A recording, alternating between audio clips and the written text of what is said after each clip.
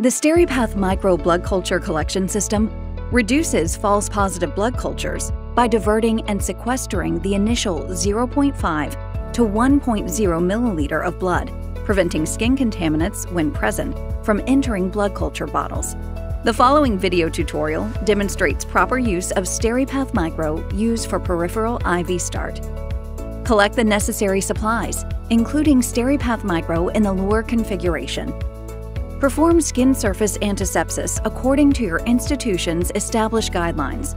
While skin antisepsis is air drying, prepare bottles for sample collection by placing a visible mark above the broth corresponding to the amount of blood that will need to be collected, if not using pre-marked bottles.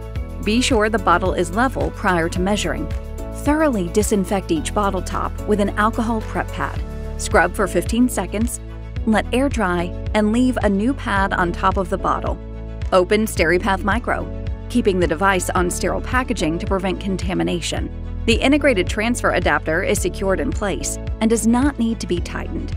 Ensure site is completely dry, insert IV catheter, and connect SteriPath Micro's Luer extension set before securing the site.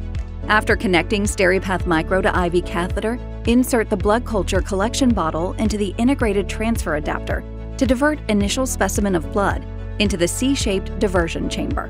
Monitor blood flow into diversion chamber until it is full. Fully depress the button on the side of the diversion device to lock in potential contaminants. Depressing the button on the side of the diversion device automatically switches the SteriPath Micro to collection mode.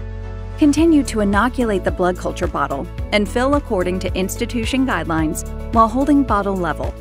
Fill each bottle to visible mark Visible foam is not considered part of sample volume. Gently agitate bottles several times to prevent clotting. Follow the same procedure for inoculation of second bottle. Be sure to gently agitate bottles several times to prevent clotting.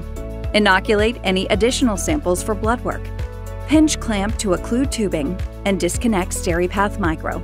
Attach needleless connector and flush line according to institution policy.